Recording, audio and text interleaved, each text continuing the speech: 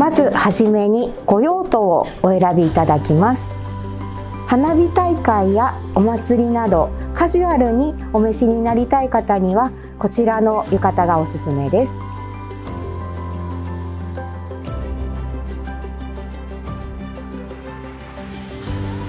次に感激やお食事会など改まった席でお召しになりたい方には半襟や足袋を履いて着物風に着れる浴衣をご紹介いたします。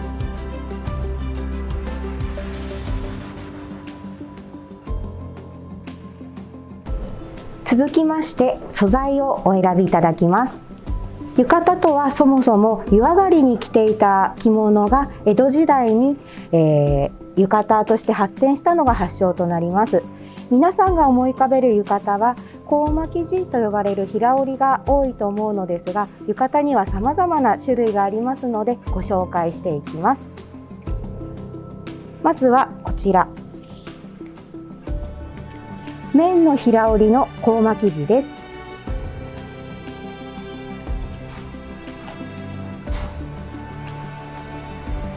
次が綿の綿紬と呼ばれる生地です。コーマ生地と違い節がありますのでとても生地がしっかりしています。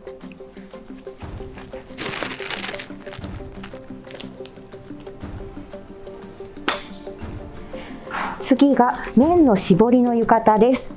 綿素材ですが絞りが施されていますのでとても肌当たりが柔らく優しい生地です。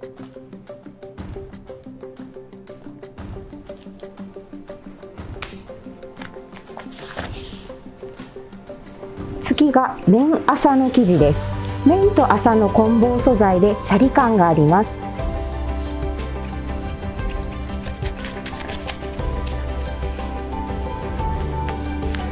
コーマ生地と綿紬絞り綿麻の浴衣地は浴衣らしくお召しになりたい方におすすめです。次が、えー、お着物のように浴衣をお召しになりたい方におすすめの生地をご紹介いたします。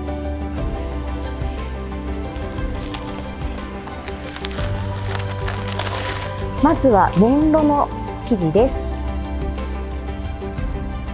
綿素材に横にロメが入っていますので透け感がある生地です。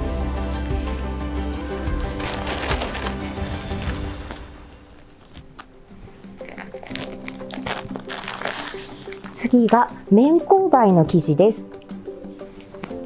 綿素材に格子状に透け感が織られていますのでとても涼しいです。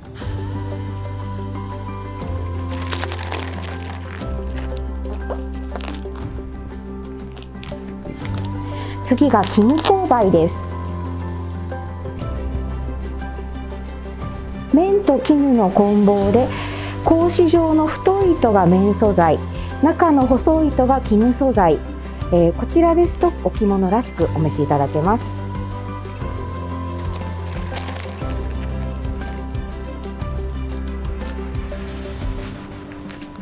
次がポリエステル素材です。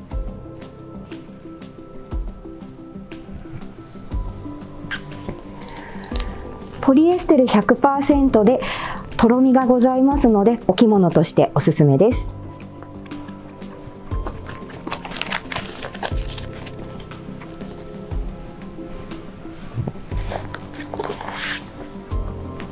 次が麻素材です。おじや縮みのお生地は麻100%です。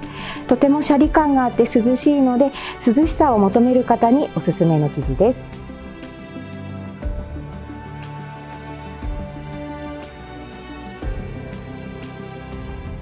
最後にお好みの色柄の浴衣をお選びいただきます。